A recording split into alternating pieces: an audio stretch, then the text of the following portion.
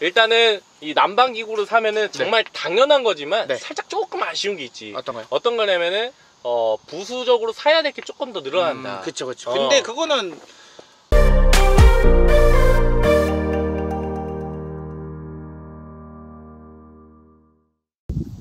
여러분 반갑습니다. 따십니다. 네, 여러분 안녕하세요. 빵민입니다. 오랜만에 우리 박민 형님이랑 같이 콜라보를 하려고 하는데 네, 여러분 안녕하세요. 오랜만에 인사드립니다. 빵민입니다. 여러분 반갑습니다. 따식입니다. 네, 안녕하세요. 오늘은요, 정말 오랜만에 이제 캠핑을 저희가 준비를 하게 되는데, 어, 사실 그 전에 캠핑 장비들도 좀 많이 이게 제가 내려놓고, 네네 어, 이제 캠핑 준비를 하는데, 이제 저희가 동계 캠핑을 준비하는 과정에서, 네.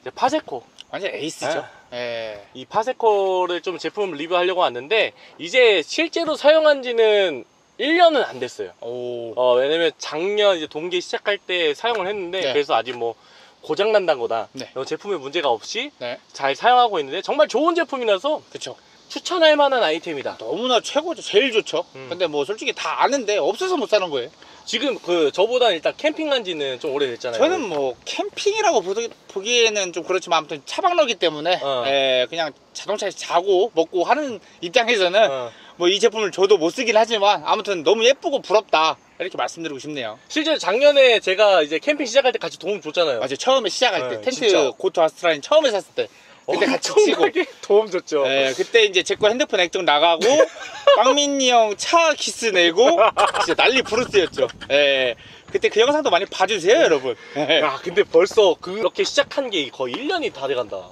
왜 작년에 우리가- 작년이에요? 어, 그게 작년이야. 올해야?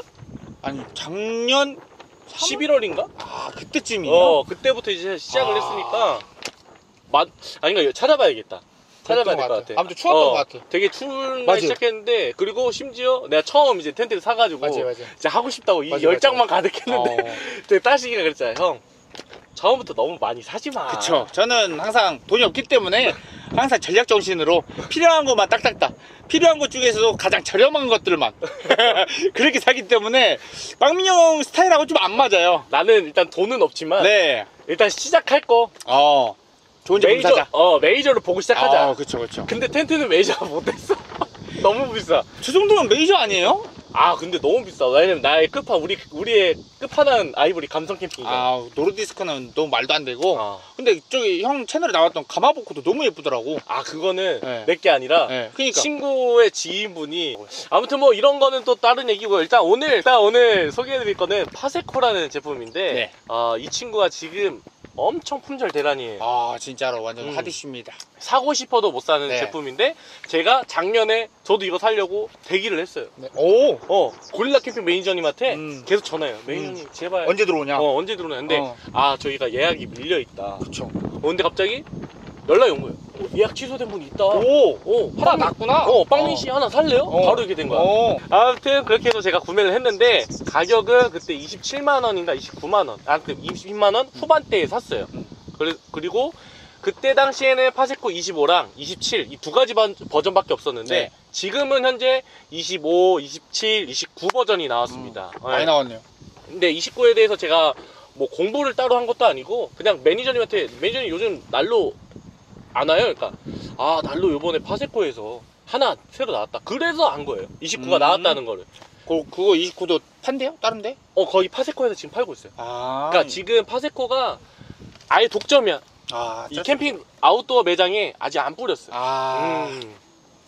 아무튼 제가 25를 왜 샀냐면 그때 많이 후기를 봤어요. 네. 25도 좋고 27도 좋다. 네. 근데 25와 27의 차이는 뭐냐? 네. 일산화탄소 감지기가 있고 없고 차이다. 네. 어 그럴 거면은 조금이나 저렴한 거 사자 네. 했는데 사용하려면 일산화탄소 감지기 또 따로 사야 돼 별도로. 근데 이렇게 케이스 끼고 얘기할 정도면 안에 제품 없는 거 아니에요? 아 아니, 아니 케이스를 지금 열고 얘기 아 그러니까 아 미안하다. 아 제가 이런 거 제품 하는 거 처음이잖아요. 네, 도와주세요. 아니 포장만 계속 얘기하고 있어요 아 이쁘다 일단 색상은 아이보리 색상으로 샀습니다. 네. 그때 당시 색상이 두 가지였어요. 아이보리와 블랙. 음. 근데 저는 아이보리를 샀고요. 네. 블랙을 사고 싶었으나 제 텐트가 어둡기 때문에 네. 아. 이 난로 마저 어두우면은 그쵸, 그쵸. 가다가 부딪혀서 넘어지면 네. 바로 불바다가 만들 수 그쵸, 있기 그쵸, 때문에 음, 잘 보이는 흰색을 샀습니다. 네. 어, 일단은 이 파세코 25S를 보여주자면은 네. 얘가 높낮이 조절이 됩니다. 네. 리프트 기능이 장착돼 있어요. 오. 레벨업. 레벨업. 음. 레벨업은 뭐야? 아, 할 말 없죠. 네, 올라갔습니다. 저 잘 몰라요? 그래서 보관할 때는 이렇게 리프트를 해서 이렇게 낮춘 상태에서 이게 보관할 수 있고, 그러니까 네네. 높이가 줄어드는 거죠. 부피가 줄어드는 게 아니라 높이가 줄어듭니다. 네. 그래서 사용할 때 이렇게 올려주면 되고. 어. 자, 전체적인 이 파세코의 모습인데 일단 사용하시기 전에 네. 앞에 있는 이 기름구를 항상 체크를 하셔야 됩니다. 네네. 어, 기름에 지금 보면은 2라고 돼 있죠? 네네. 이거는 진짜 실제로 자동차를 운전하시는 분도 알겠지만 이게 앵꼬라는 뜻이에요. 앵꼬. 없다. 일본 말 아니에요? 이노프인가 뭐 그거 아니에요? 근데 다들 많이 사용하잖아요. 아. 이거는 좀 이렇게 저기 네. 아, 이 에라 없다. 에라다 에라. 에라 에라. 어. 이 에라다. 그래서 처음 사용할 때는 여기 2분의 1, 딱 반, 음. 절반 정도 기름을 채워 놓습니다. 기름 채우는 방법은 여기 보이시면 기름 주유구가 따로 있어요. 여기에다가 실내 등유를 넣으면 돼요. 음. 실내 등유는 가까운 주유소로 가시면은 많이 팝니다. 많이 비싸봐야 천 원이니까 음, 거의 다들 대부분 2박 3일 기준으로는 한 10리터 기름통을 들고 다니고 어, 이렇게 주유를 합니다. 자, 2분의 1 정도 놨으면 이제 얘를 켜야겠죠. 네. 켜야 되는데 확인할 게 있습니다. 먼저 이렇게 열어주시면 이 앞에 있는 이 손잡이가 있어요. 네. 이 손잡이가 중앙에 있느냐 음. 없느냐 그리고 딱 열었을 때 이 보이시면은 여기서 이제 레버가 올라갑니다. 레버를 올리면 이 심지들이 오, 이렇게 심지 올라와요. 올라온다. 어, 이 심지가 잘 있느냐 음. 이게 제일 중요하고 딱 놓고 이 중앙에 딱 이제 홈에 여기 또 보면 사이에 홈이 있어요. 네. 이 홈에 잘 끼워줍니다. 그럼 얘가 잘 됐다는 거예요. 그리고 이렇게 달아주고 자, 반 정도 되고 심지를 올려놓고 한 10분에서 한 20분 정도 이 심지가 등유를 먹을 수 있는 충분히 적실 수 있는 시간을 주셔야 돼요. 10분에서 한 20분 정도. 그러면 어떻게 하냐? 처음에 오시면 캠핑장이 딱 도착해서 텐트 설치하시기 전에 기름을 먼저 난로에 채워 넣으시고 하실 거 다 하신 다음에 이제 텐트 안에다 옮겨 놓으면 돼요. 그리고 나서 얘 좋은 점, 정말 좋은 점은요. 이 점화 버튼이 있습니다. 이거는 건전지로 할 수 있는데 뒤에 보시면 이런 홈 홈이라고 해야 되나 이런 보관할 수 있는 공간이 있는데 여기 열어보면은 건전지가 이렇게 들어가요. 네.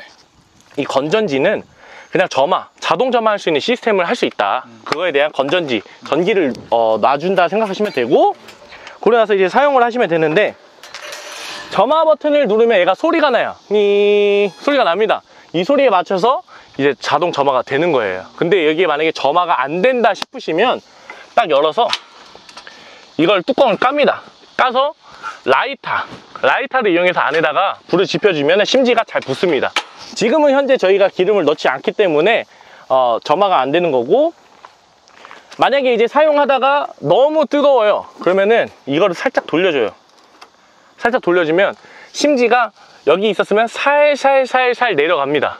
아, 약간 심지 높이를 조절해 주는 거예요. 그리고 완전히 끌 거면은 여기 있는 소화 버튼을 딱 누르면 게임 끝. 네, 일단은 파세코 25S라는 제품을 제가 사용하는 방법을 잘 설명을 해드렸는지 모르겠지만 일단 제가 알고 있는 선에서는 최대한 설명을 해드렸는데요. 네.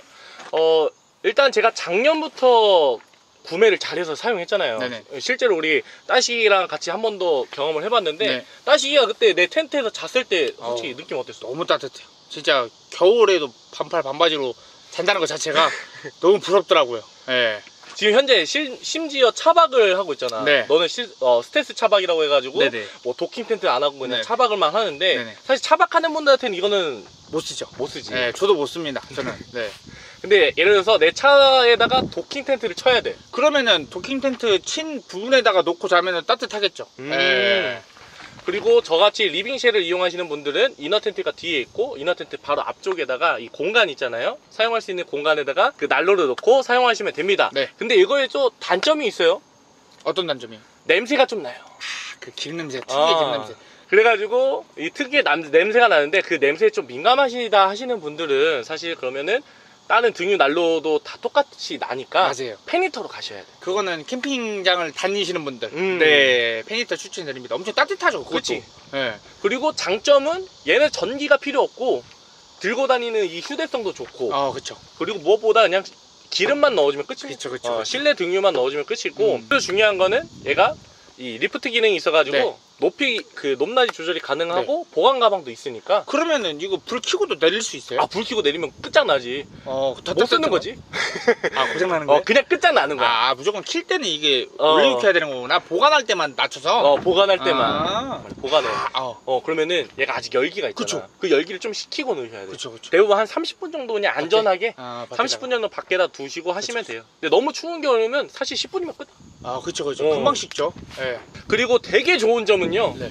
어 저도 지금 가스 twin 버너를 쓰고 있지만 네. 가끔 음식을 하다 보면 어, 여기다 부럽다. 놓고 어 여기다 놓고 저 그 저녁 때면은 겨울이나 특히 동계 때는 바람만 슝 불어도 막 삼겹살 금방 식거든 그죠 그래서 살짝 여기다 아. 올려서 데울 수가 있어 오 어 근데 바로 direct로 데우면은 이 세봉에 다니까 약간 호일을 그쵸. 싸셔도 되고 네. 아니면 약간 냄비 프라이팬, 올려야죠 뭐. 어, 예. 냄비에다 그냥 올려서 네. 데우시는 그런 기능도 있다 어, 어, 좋은 점이 있고 네. 따뜻하게 음식을 먹을 수 있다 음, 그리고 장점은 어, 그렇게 비싸지가 않다. 음. 난방 용품인데 어, 이게 사실 캠핑하는 분들한테도 알려져 있지만 일반 사무용에 하시는 분들도 이걸 많이 쓰시더라고. 요. 어.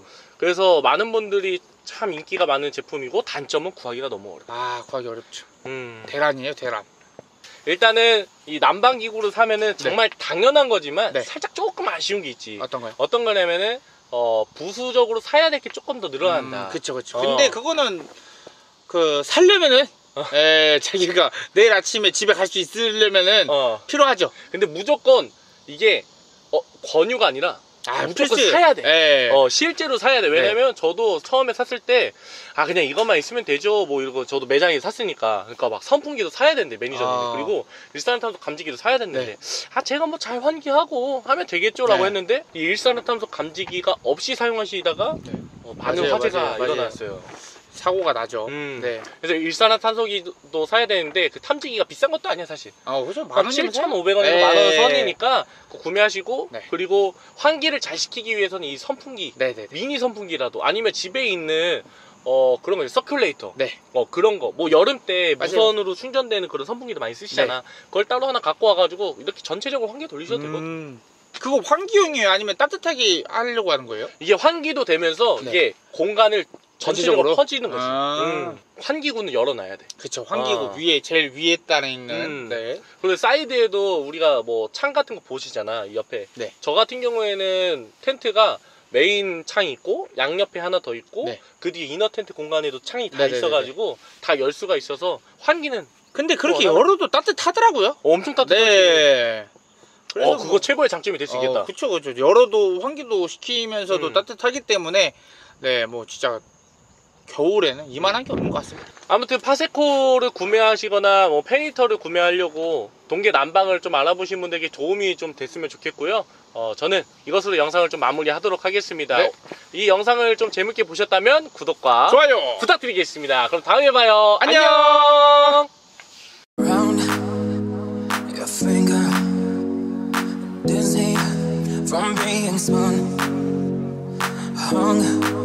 on every word, gone.